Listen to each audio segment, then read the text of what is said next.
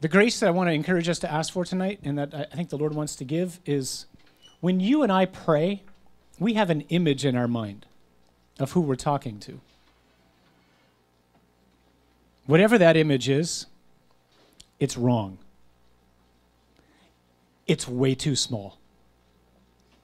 So uh, I want to show, rather than give a talk, I want to play what I think is one of the most inspiring talks I've seen in a long time uh, by a guy named Louie Giglio. He's an evangelical pastor down in Atlanta. Some of you have seen this. Um, it's called How Great is Our God. So we're going to show this. Uh, it's roughly the length of the talk, of a talk that we would give. Then we'll get into our small groups, spend some time in discussion, then we'll come back together for some Q&A.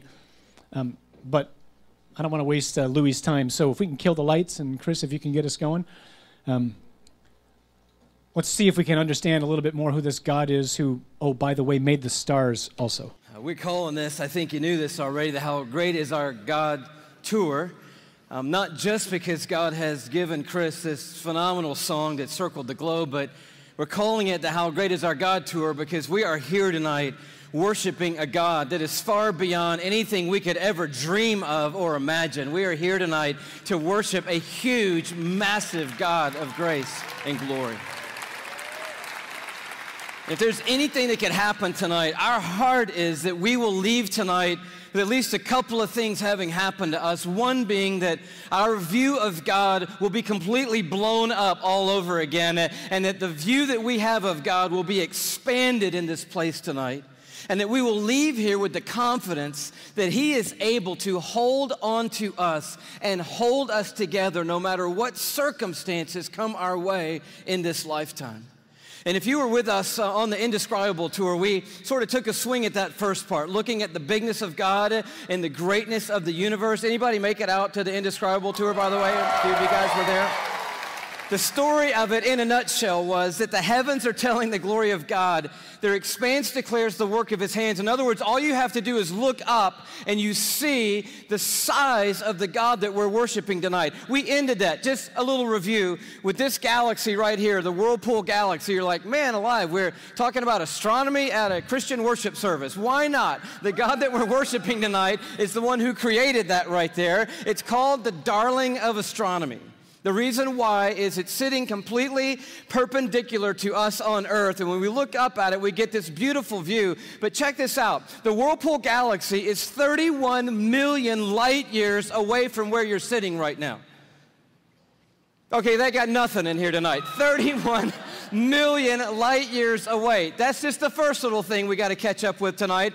By the way, the story opens like this. In case you forgot, in the beginning, God created the heavens and the earth, and He said, Let there be light, and there was light. And that was a phenomenal moment when that happened because light came out of the mouth of God traveling 186,000 miles a second. That's how fast light is traveling through the universe. And so a light year, therefore, is how far light travels in one year, and I'll do the math for you. It's 5.88 trillion miles is a light year. So, as we talked about before, when you start to get around in the neighborhood of God, the mile is not going to help you. The yardstick, the ruler, the tape measure, these things are of no value in the universe that God has made. We're using a ruler called a light year that's 5.88 trillion miles long. And if you'd like to go to the Whirlpool Galaxy, be my guest. All you have to do is multiply 31 million, that's how many light years it is away,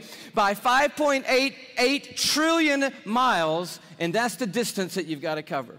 Anybody with me so far? I'm, I'm wondering, are there any science lovers here tonight? Because we're going to have a little scientific content tonight, and I need to know if anybody's going to be with me so far. So you do the math, or you could look at it a different way. You just have to travel 186,000 miles a second for 31 million years, and voila, you will arrive at the Whirlpool Galaxy.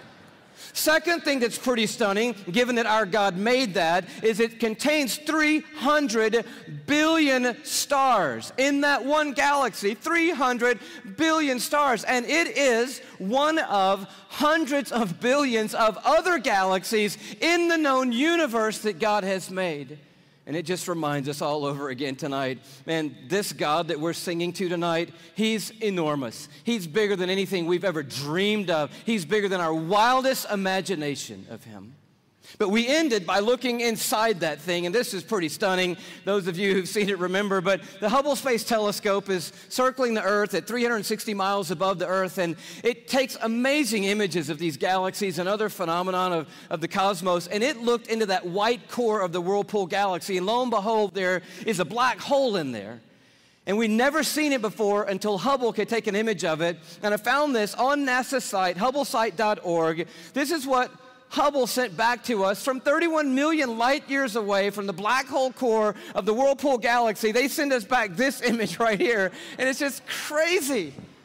It's crazy.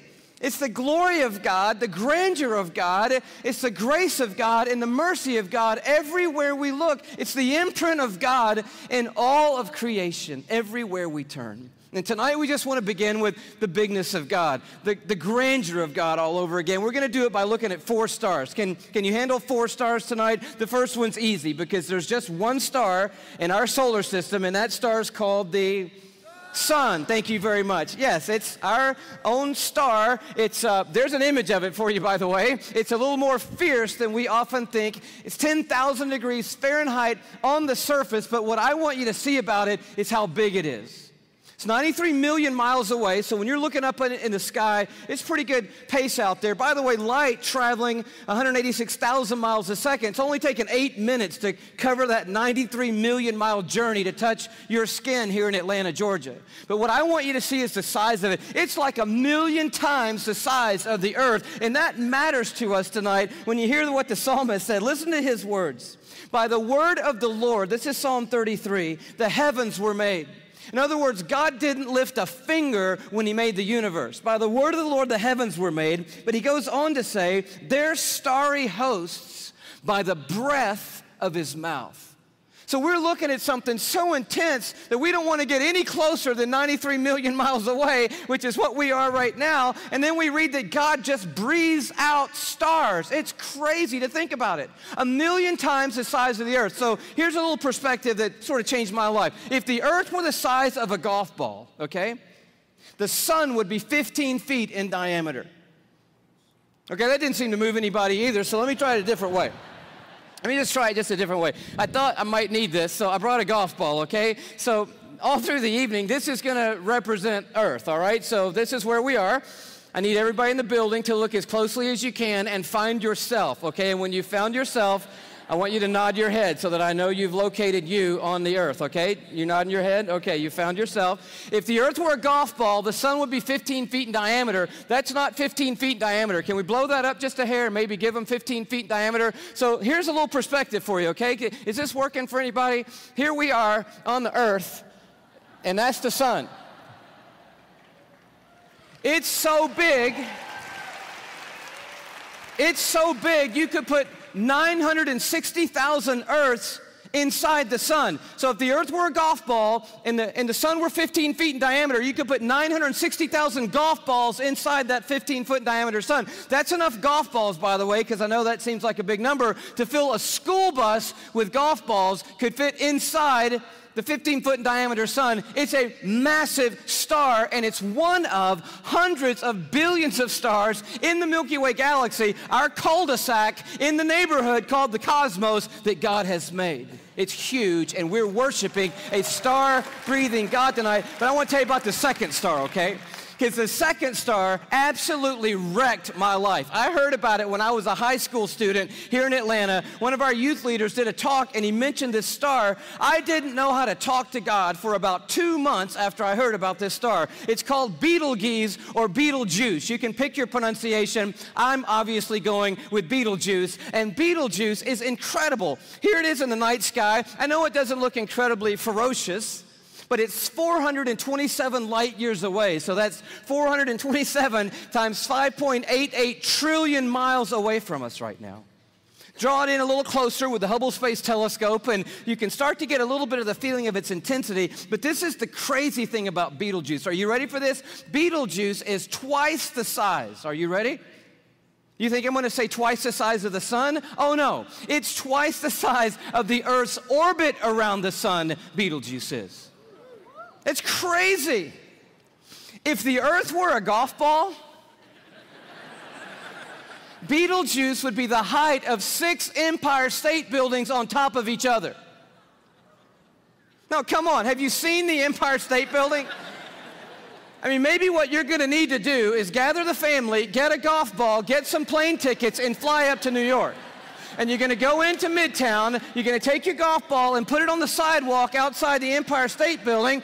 Don't worry about people thinking you're crazy. They're not even going to notice you in New York. You're going to go across the street. You're going to look up at the Empire State Building and imagine five more Empire State Buildings on top of the Empire State Building. That's Betelgeuse, and that's the Earth, and somewhere you're on it.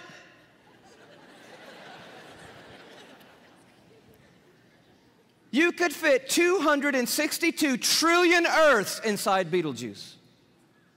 So if the Earth were a golf ball, that would be enough golf balls to fill up the Superdome with golf balls. 3,000 times.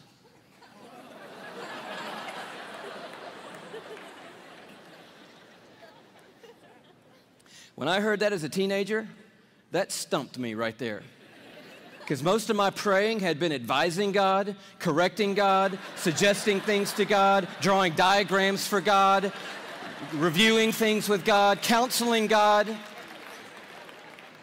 The third star, let's just, can you go a little bit bigger with me? The third star is called Mu Cephei.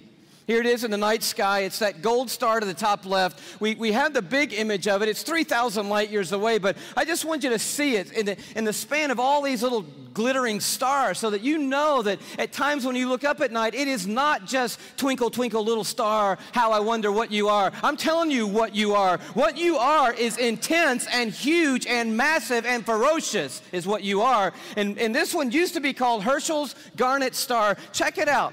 If the earth were a golf ball, Mu Cephei would be the width of two Golden Gate bridges end to end. Apparently, you're going to need to go from New York to the West Coast.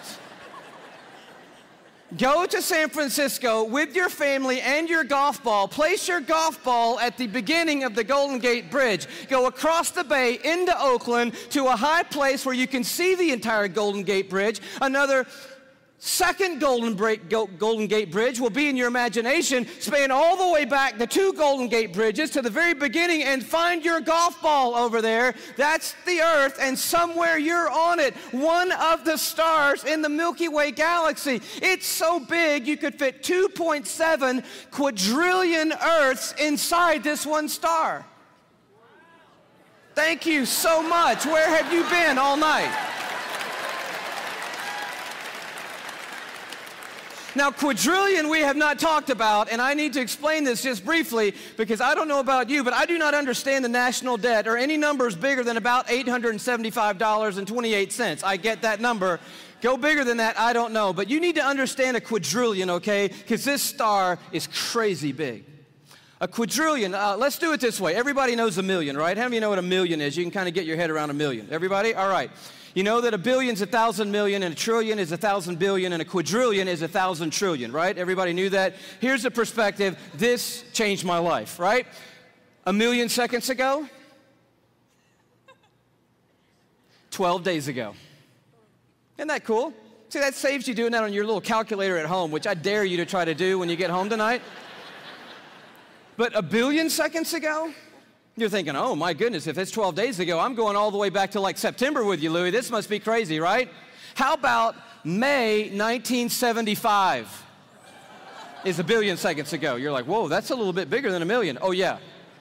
A trillion seconds ago, you're like, uh huh, I'm on the 1800s. No. Christopher Columbus? No.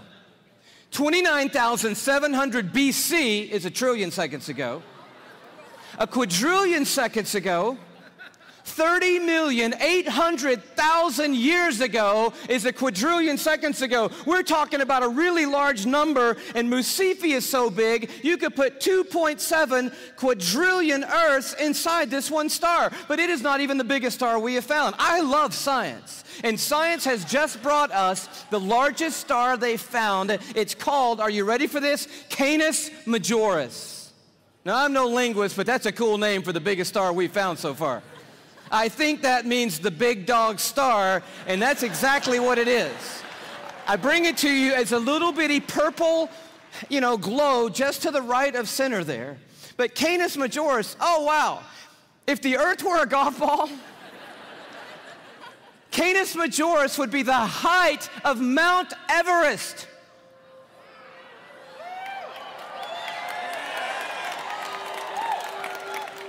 Thank you. You just saved your family plane fare from California to Kathmandu, Nepal.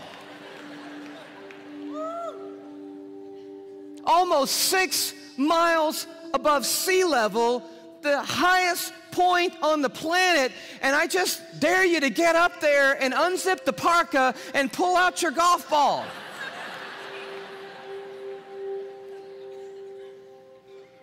You could fit seven quadrillion Earths inside Canis Majoris.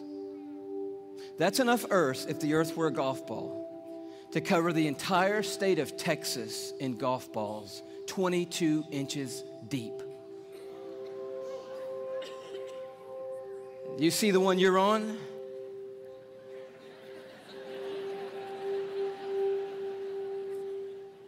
Maybe this will help a, a little bit more. This absolutely blew my mind. Just a little journey through our solar system. Everyone knows our planets and sort of how we fit in to the story here. You see really quickly that we're not even the biggest deal in our own solar system, but as Earth comes by, you have to know tonight that we are living on a privileged planet. Anyone would tell you we're living at one of the most special places, if not the most special place in all of creation. But Neptune comes by and Saturn and then Jupiter, and you're like, okay, we're not all that big, even in our own little cul de sac.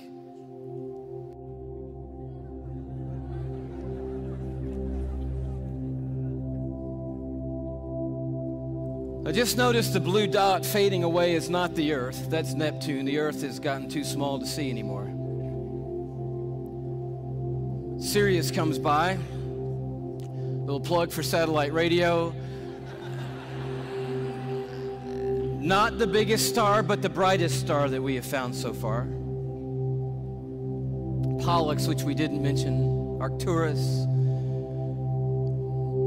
Such a beautifully named one, Rigel. But then the one that messed me up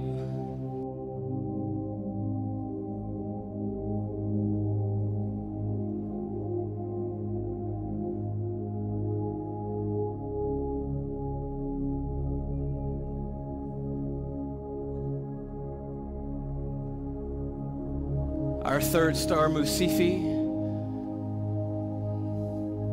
Musifi's cousin, W. Cephei.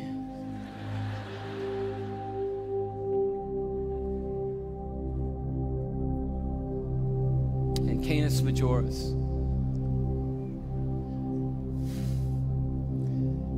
And do you know that you couldn't come up here right now with a Sharpie? And make a mark on the screen that would approximate the size of our sun, you couldn't even do it. I mean, when you look at these and their relative size, we just have to put a little arrow over there that says, if you could put the sun on here, which you can't, it would go somewhere about here. And um, can you hang on that for me?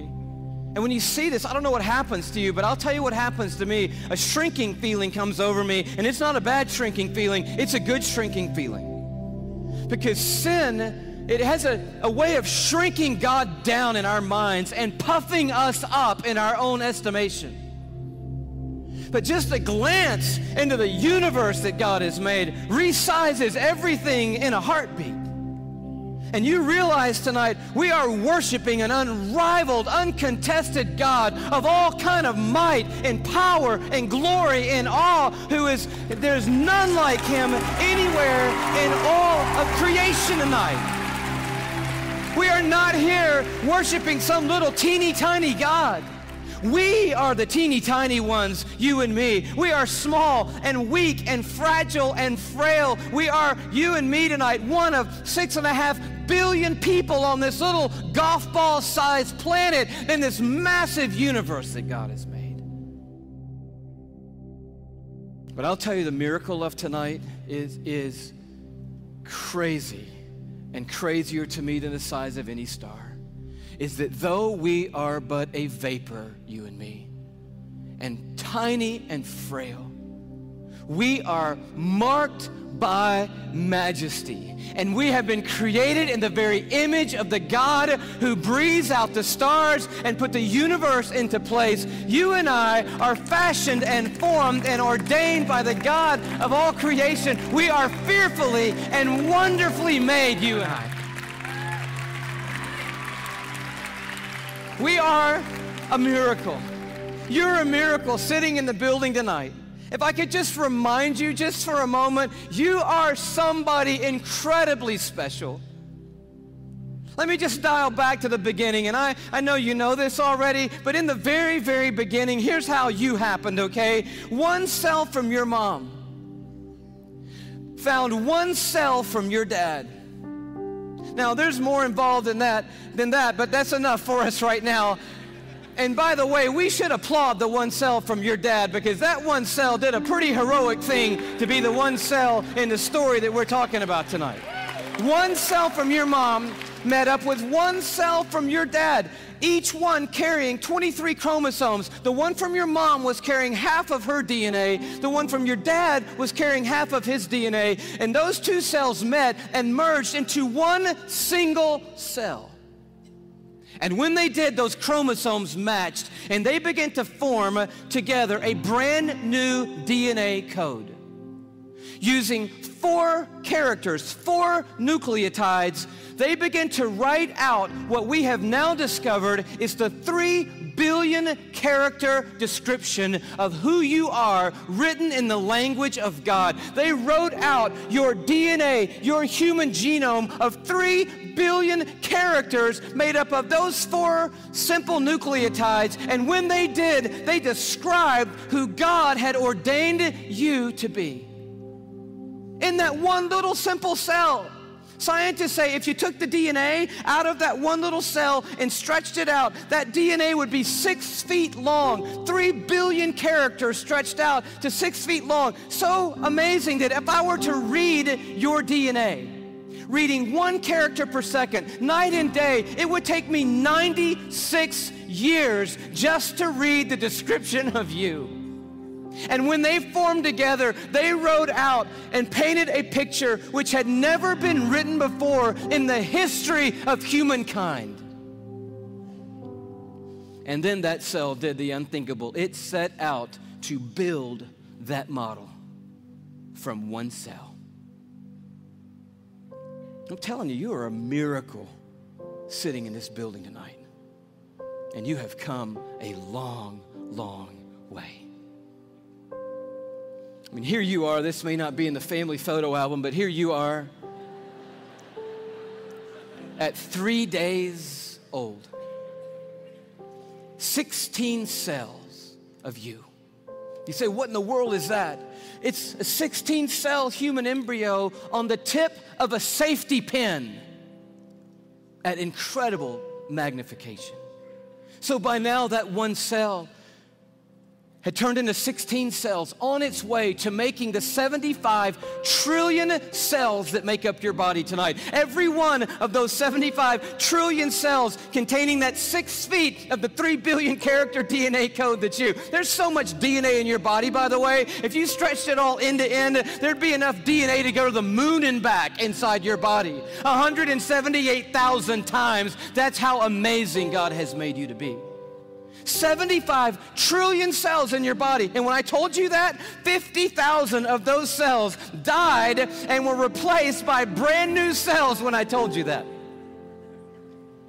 And then just now, 50,000 more cells died and were replaced by brand new cells. It's happening every three seconds, day and night, all the days of your existence. And you wonder why you're tired all the time. I'll tell you, you're doing some amazing stuff night and day. We're miracles, you and me. I love the way Augustine said it, one of the great fathers of the church and of the faith. He just nailed it when he said it like this Men go abroad to wonder at the height of mountains, the huge waves of the sea, the long course of rivers, the vast compass of the ocean, the circular motion of the stars but they pass by themselves and they don't even notice. In the womb, miracles happening every moment. Here you are at five months in the womb.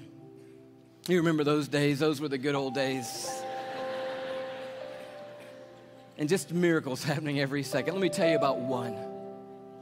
Million optic nerve endings left the optic nerve center of your brain in the womb, headed for a million optic nerves that had left your eye. And they had to meet and match their exact partner, one million looking for one million.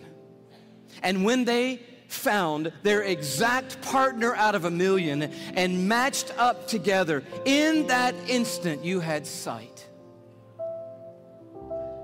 And anyone would tell you that to this moment, the most technologically advanced thing on planet Earth is your eye. Oh, but it didn't do you any good because when that moment happened, you just had one piece of skin completely covering your eyeball. But as I read in one textbook, miraculously and mysteriously at about the sixth month, a little cutting device appeared and it cut perfectly that piece of skin. And you had eyelids for the very first time in your mother's womb. You are fearfully and wonderfully made. And the God of the heavens is the one who fashioned you together. And He knows your name tonight, and He knows every single thing there is to know about you. And He's made you a promise that for those who trust in Him, He will literally hold them in His hand and carry them all the days of their life. This Psalm 33 that talks about a star breathing God turns an interesting corner. It says, For He spoke and it came to be.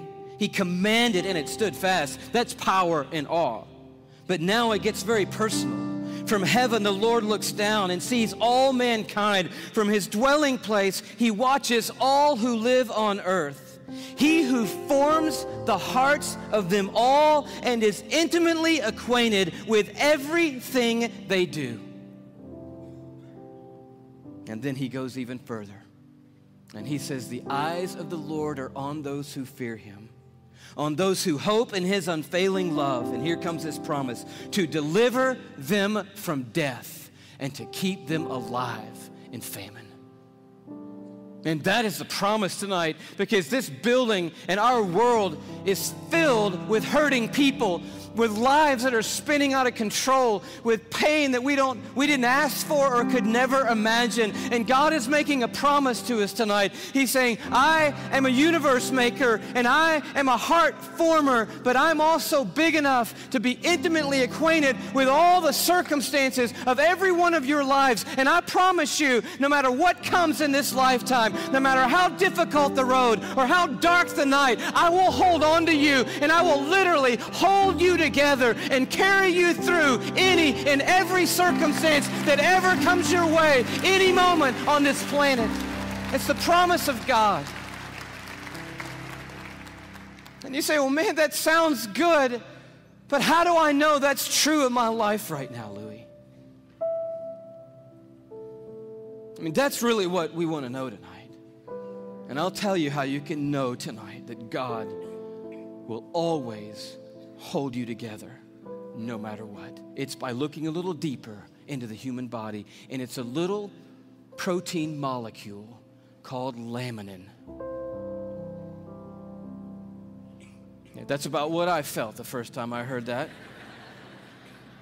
Long story short, the tour was winding down last time around. We were in Tyler, Texas. The night was over. A guy walks up to me. I wish I could tell you the whole story. It was so of God introduces himself to me, says, How are you doing? I just want to say hello. I said, It's nice to meet you. He says, You guys winding the tour down? Uh, where are you going to go from here? I said, Well, I'm on my way back home to Atlanta, Georgia. He said, Well, what's next for you? I said, I'm going to be preaching the next two Sundays for my pastor back in Atlanta. He said, Oh, cool. What are you preaching on? I said, Well, the series is on the glory of God in the human body. He said, That's really amazing. I'm a molecular biologist at the university down the road. Give me your talk. And I was like, Oh, wow. I wasn't quite yet ready to unload the talk for a molecular biologist. So I kind of stumbled through what I had, and he's kind of being kind and gracious and like, uh huh, that's good. And then he says, Well, what's your big left hook? You got to have a left hook, a big finish, right? I said, I don't have a left hook yet. He said, Oh, Louie. Oh, man, your left hook is laminin. And I, am totally blank on laminin. He goes, Louie, it's a cell adhesion molecule. Protein molecule? Do you know about proteins? I'm like, No. He said, Louie, cells organize into certain molecular structures, and that determines what protein there are. There are between 10 and 60,000 proteins in the human body. We don't even know how many proteins are in the human body, but one of them is a cell adhesion molecule. It's organized into this certain structure, and that tells the cell what its job is in the body. And this one is a cell adhesion molecule. And I'm like, all right. He said, No, Louie, it's like the rebar of the human body. The steel they put in the concrete when they lay the foundations of things, it's that stuff. It's, it's holding your membranes together. It's the glue of the human body, Louie. It's laminin. You got to tell them about laminin. And I'm like, I promise you, I'm going home and tell them about laminin. And I'm sure when I do, revival is going to sweep across the church and probably around the world when I tell them. He said, No, no, no, no. You got to see laminin. Like, okay, let's see it. He said, no, no, no, you need to go look it up online. You need to go Google laminin. I don't even know how to spell laminin. Takes his card out, he writes on the back, L A M I N I N. I'm like, okay, I cannot wait to get to my computer and get on Google, click on images, type in laminin, and I'm waiting, and these little thumbnails come up on the screen, and I'm like, wow. That's laminin, the cell adhesion molecule. Woo!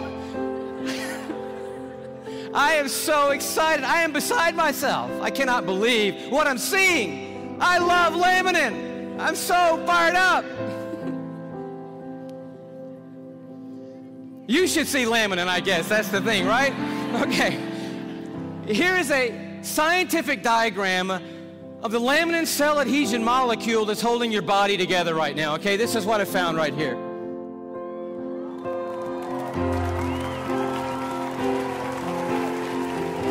No, come on, that's crazy. that's just crazy.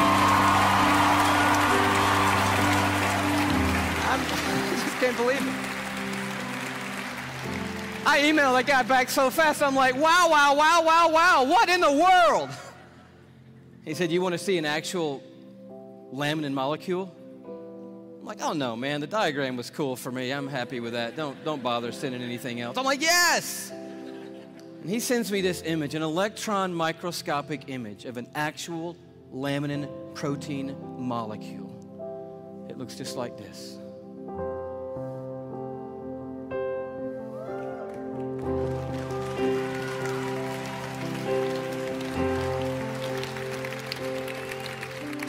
Like, how crazy is that?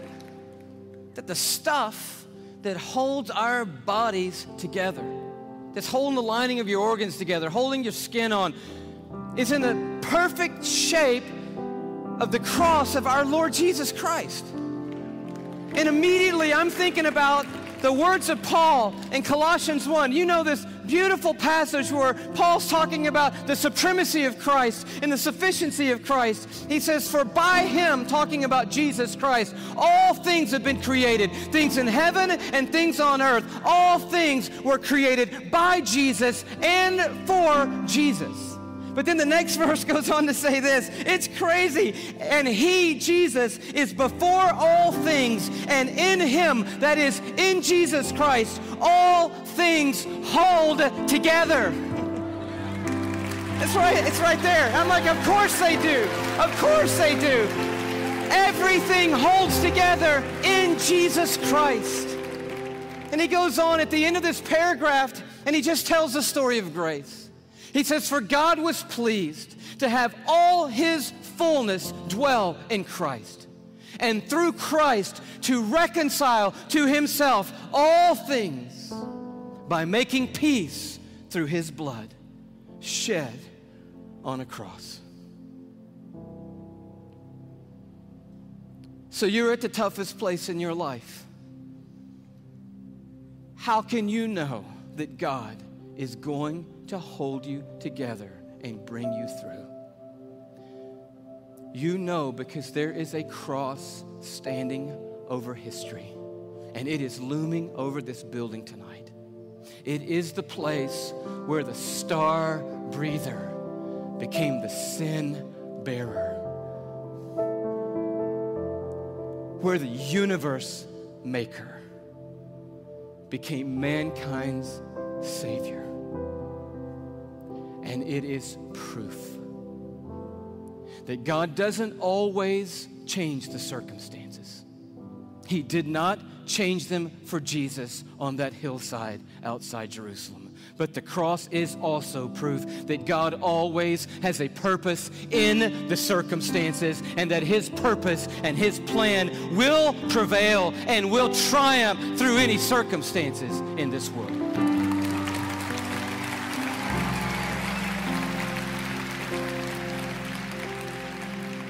So we just close with this question it's found right in the middle of an interesting chapter in Isaiah 40 where it just talks about the expanse of God. He stretches out the heavens like a curtain, like a tent to dwell in. He leads forth the starry host one by one and calls them each by name. But then it takes a turn. And the writer of Isaiah says, So why do you say, O Jacob? And why do you complain, O Israel? My way is hidden from the Lord or say, My cause is disregarded by my God. In other words, there was a moment in the history of Israel when they felt like God had completely lost sight of them. That, yes, I believe that God is big enough to make the world. I even believe that God ordained and made me. And now, coming present tense, I'll accept the fact that God gave His Son on a cross. But what I really need to know right now, what really matters most to me right now, is does God see what I'm going through? Does He see what I'm carrying? Does He know that I can't take one more step or one more day? Does He care and can He do something? That's what I need to know. And Isaiah answers, and he answers with another question. And it's a question for us here. He says, Do you not know? Have you not heard? The Lord is the everlasting God, the creator of the ends of the earth. He will not grow tired or weary, and his understanding no one can fathom. He's huge. He is a star breather. He's big. But listen to what he loves to do. That God, that creator of the ends of the earth, that I do not grow tired or weary, that my understanding's too great for you, that God, here's what he does. He gives strength to the weary and he increases the power of the weak. For even the youths will grow tired and weary, and young men will stumble and fall. But those who hope in the Lord, another translation, those who wait upon the Lord, the Hebrew word simply means this when it says hope and wait. It means but those who stand right in the midst of the craziness, right in the midst of the pain, right in the midst of the chaos, right in the valley of the shadow of death, and they don't gloss over it. They're dealing with the hardest stuff in life, but standing in the middle of it, they say, you know what? I don't see what God's doing. I don't understand what the plan is, but I'll tell you one thing I am not going to give up on God, and I'm going to stand right here in the middle of this moment, and I'm going to trust that God is sitting on a throne, that He has a purpose for my life and a plan for my life. And I believe I'm going to see the goodness of God in the land of the living, and I'm not going to stop believing that no matter what. That's what the word means to wait and to hope on the Lord. And He said, and here's the promise. You're going to wake up to rosy circumstances. No. Oh, he can do that and he does do that. But the promise is greater than that. He said, Those who wait upon the Lord, here's what I promise I will renew your strength. And when you think you can't take one more breath, I'll give you enough to keep going on. And enough to keep going on. And enough to keep going on. And to keep going. And to keep going. And to keep going. You keep hoping, and I'll keep causing strength to rise when you hope. And you'll keep going. And you will feel like you have been swept up on the wings of eagles, and you will run and not get weary, and walk through it all and not faint. He said, I will hold you. Even when you let go of me, I'm not going to let go of you. Did you know there are millions and millions and millions of microscopic crosses holding you together right now. And one giant, glorious cross of Jesus Christ that's holding every one of us that's trusted in Him onto the Heavenly Father and holding the Heavenly Father onto us. And it's going to keep holding us onto Him, that cross, forever and ever and ever and ever. We will never not be carried by the strong hand of a universe making God, and He will bring us through. That is the promise of the everlasting God. God bless you. Bless you. Bless you. So here's the golf ball. And it's actually got the earth painted on it. So we're going to um, break into groups uh, to talk in just a sec. Um, let me just say one thing. We, have shown this several times to, we've used it as a retreat for the uh, parish staff, and, uh, and I watch it um, pretty frequently. Here's what's always in my mind every time I watch this. So, the one who made this um, massively immense universe is on his knees with a towel wrapped around his waist washing Judas's feet.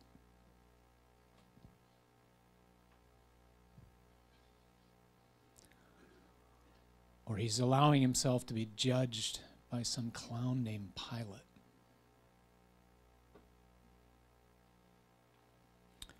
Or he's allowing these itty bitty creatures that we are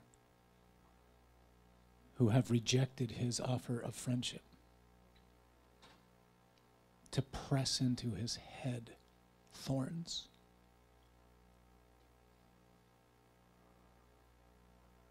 And he allows this.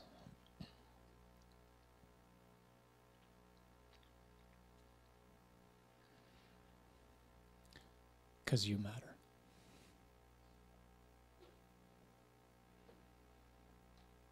I, I watch something like that and I just keep thinking, I have no idea what love is.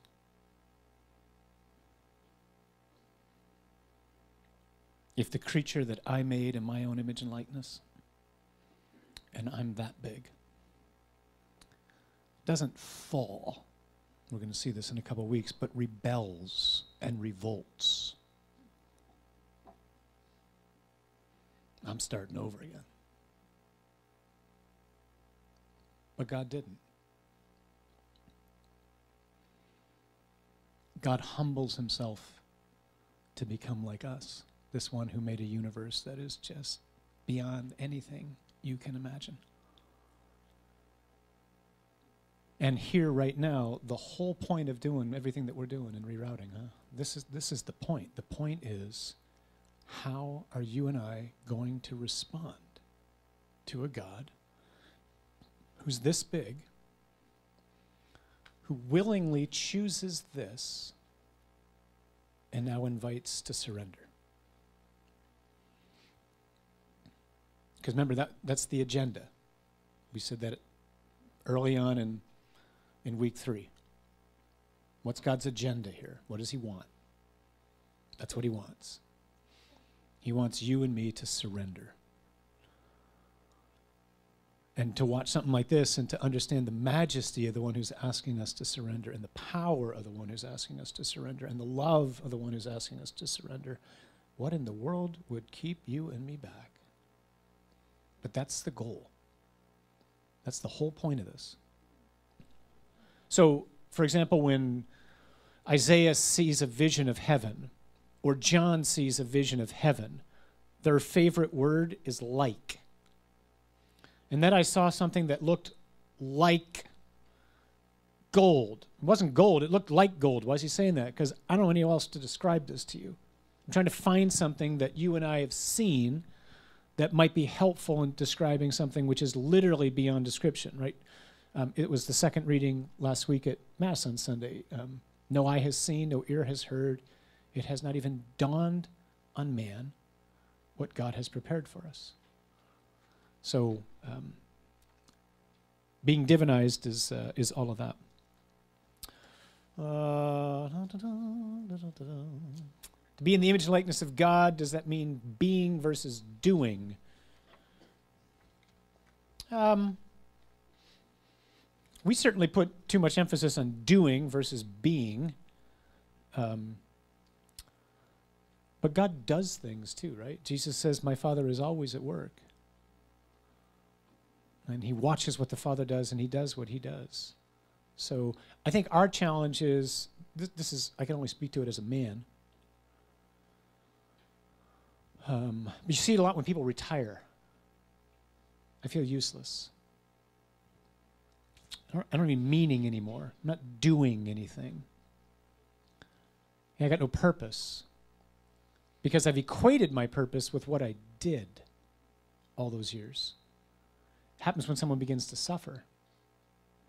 Now I can't do anything anymore. So I'm useless and valueless. You might as well just end it. When in fact, um, that's just not true.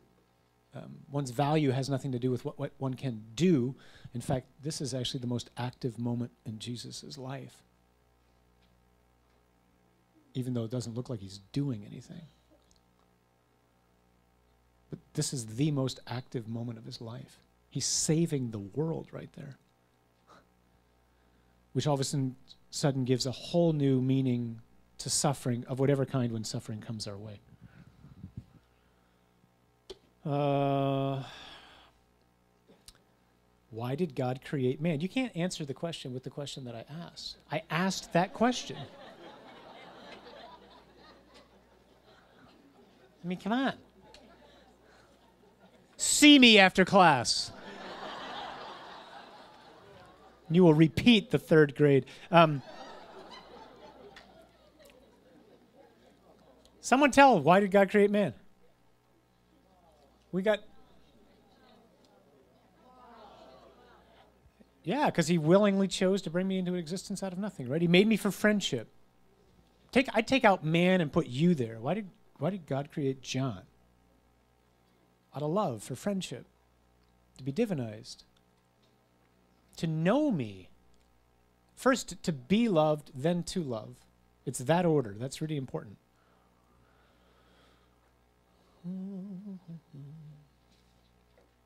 Why did God create us on earth? Why not create us in heaven with Him? That is not something that I can answer.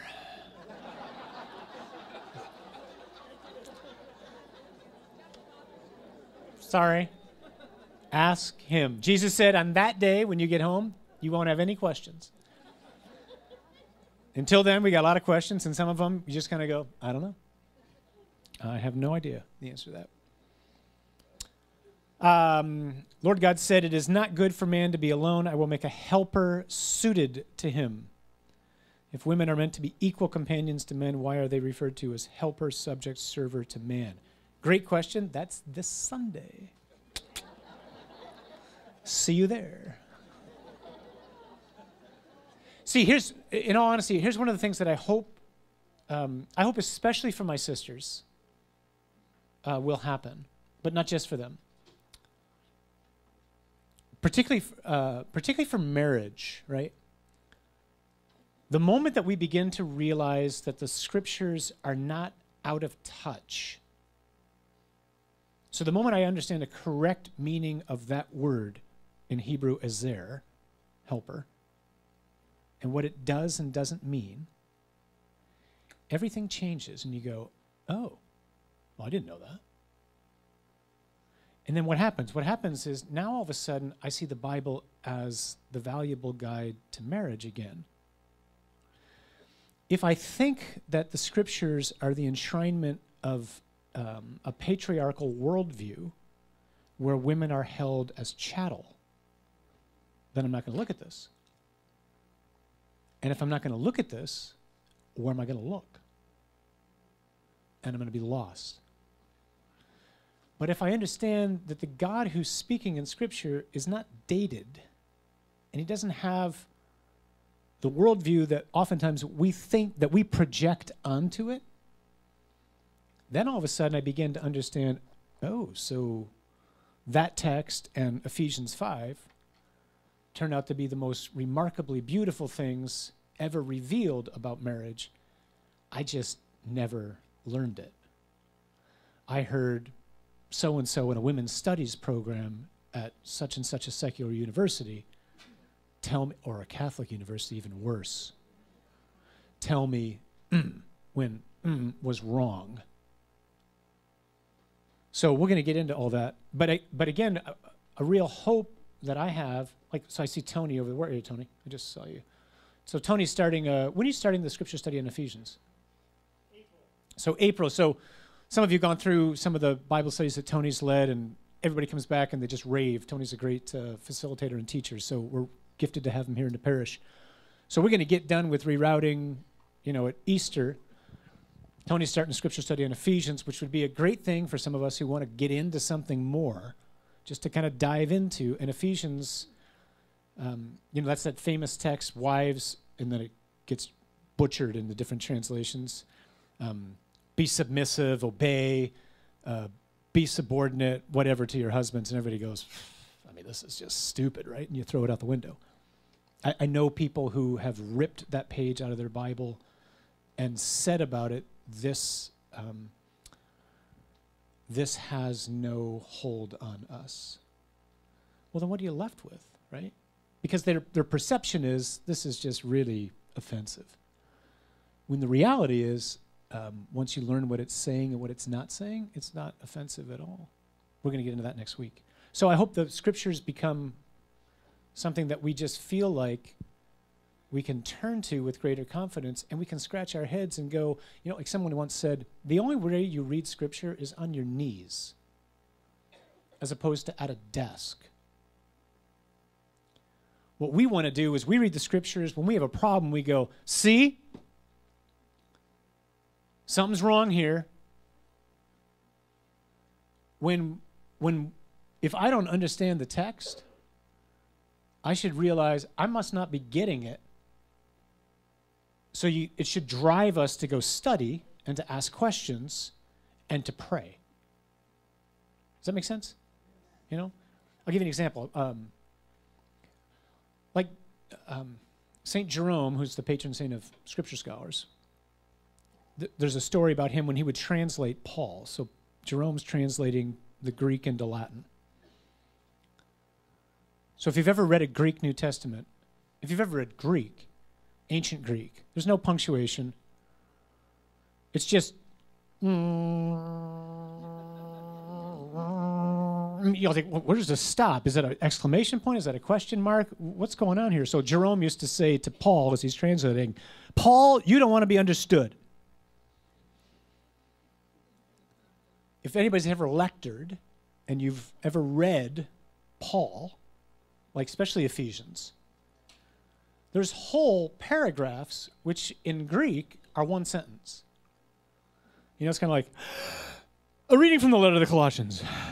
And then, so it's difficult. And at times as you're reading it, it's supposed to, like, the Lord's trying to make us chase sometimes. He's trying to provoke us. He says things that make you go, what? Example um, Gospel of John, I think it's John 5.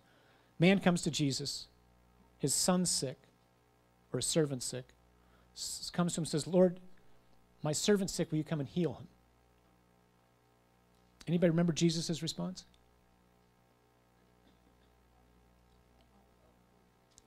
He says, Unless you people see signs, you will never believe.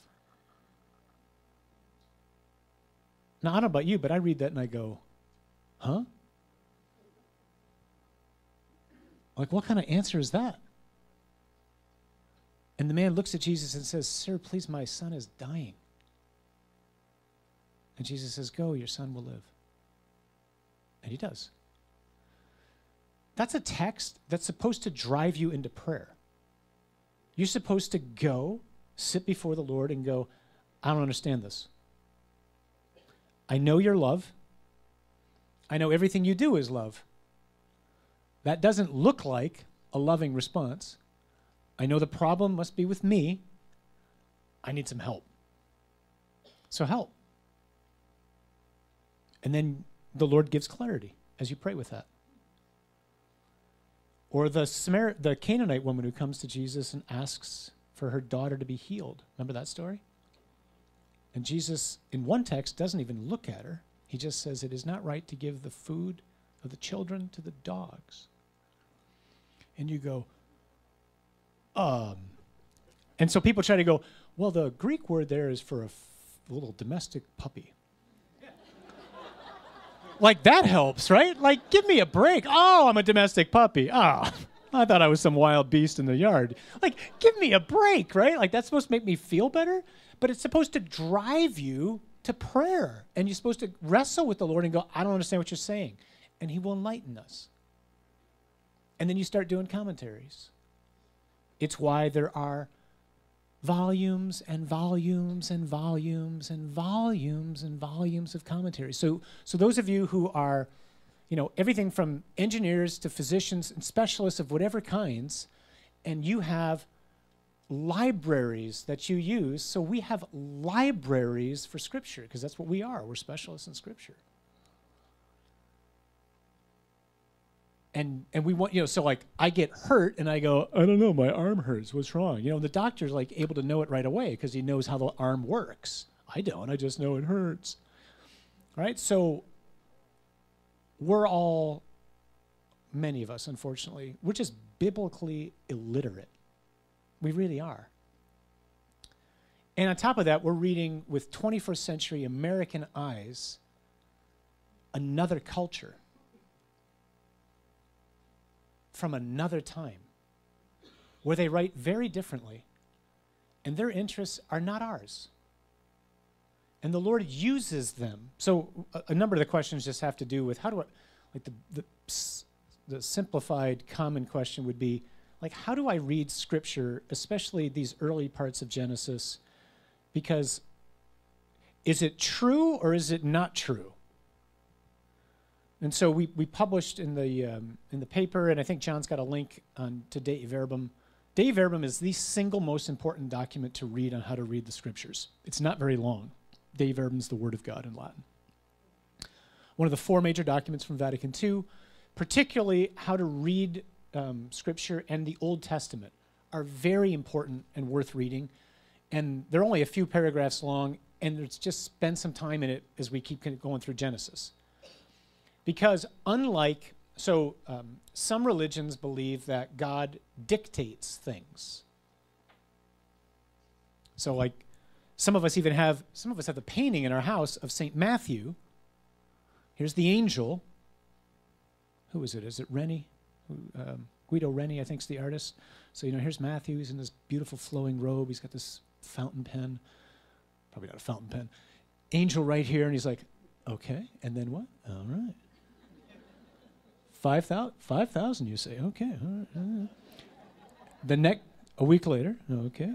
And Pilate. All right. And that's how we think. Like the, the, the evangelists are just taking dictation from God. That's not how Scripture is communicated. They're not, they're not taking dictation from an angel. They're using all sorts of other sources, oral, oral traditions which are floating around, eyewitness accounts, um, their own genres, styles, manners of speech. But see, here's a problem. So we go, ah, oral tradition. How reliable is that, right? Because we all grew up playing the telephone game. So I'm going to tell a story to Mary and Chris over there, and by the time it goes all the way around the room and it gets over to Carrie, totally different story, right? And we learned that. Like, we learned that in kindergarten. I remember that in kindergarten. And the point of the teacher was, you can't trust what other people say. in oral culture, would look at you and go, wait a minute. From there to there, you guys couldn't remember the same story? What's wrong with you? Like, how stupid are you? Why? Because we have this incredible bias towards writing. Most of the world is illiterate.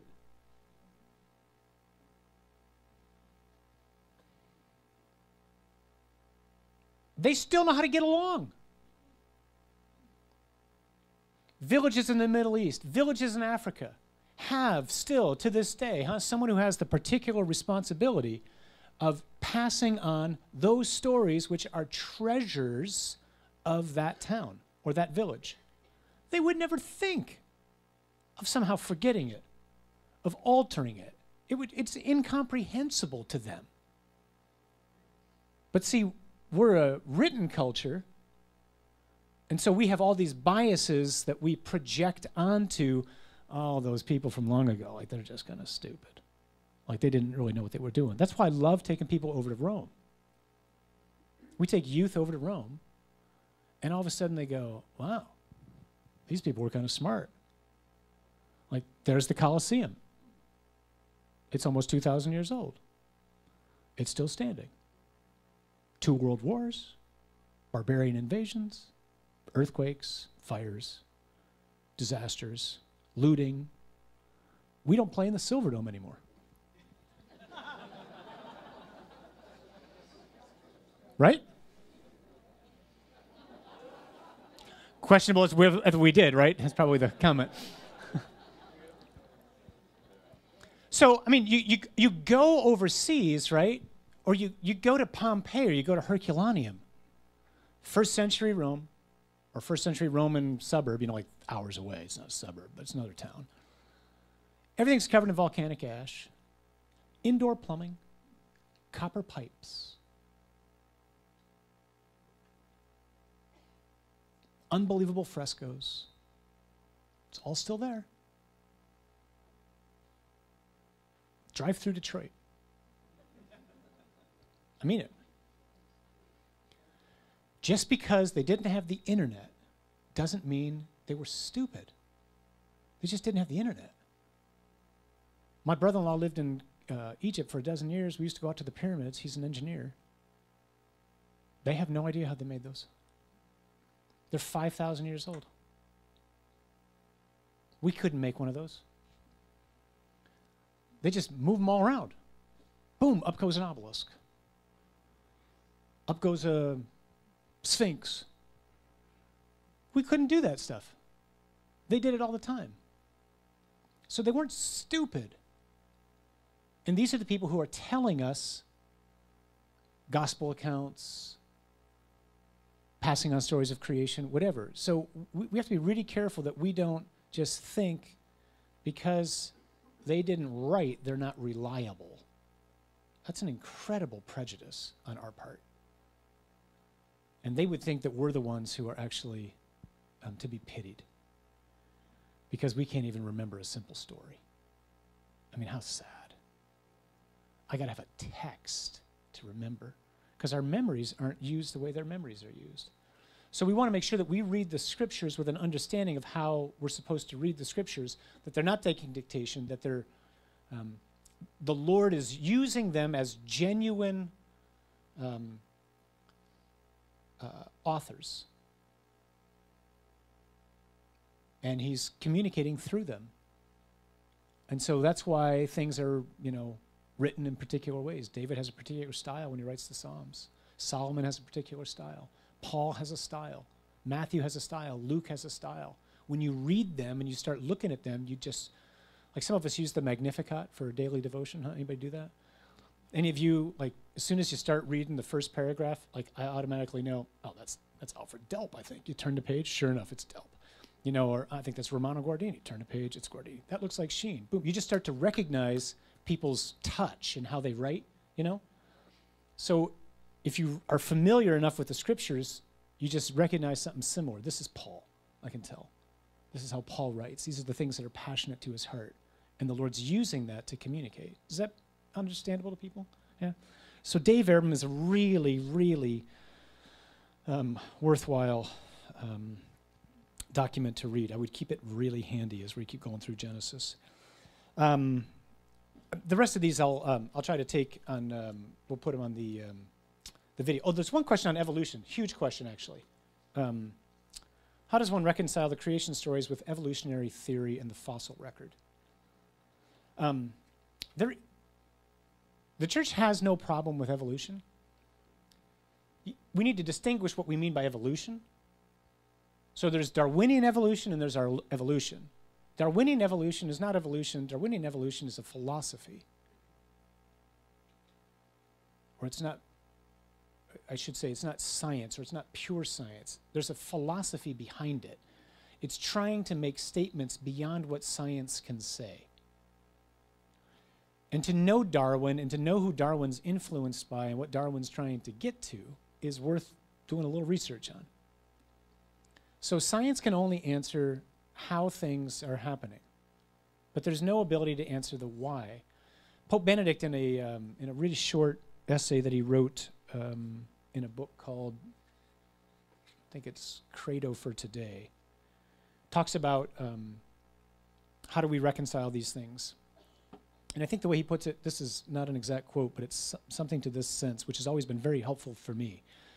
He says, The moment that this being so pres- presuppose evolution for a moment, if that happens.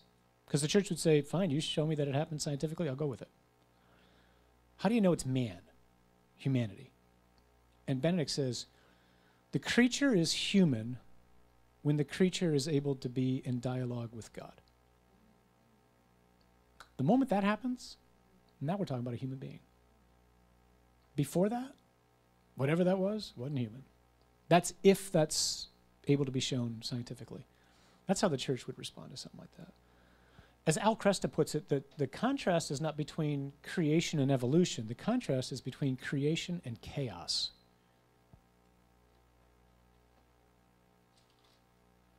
Because those who want to argue against creation want to argue that there's no point. That's not science.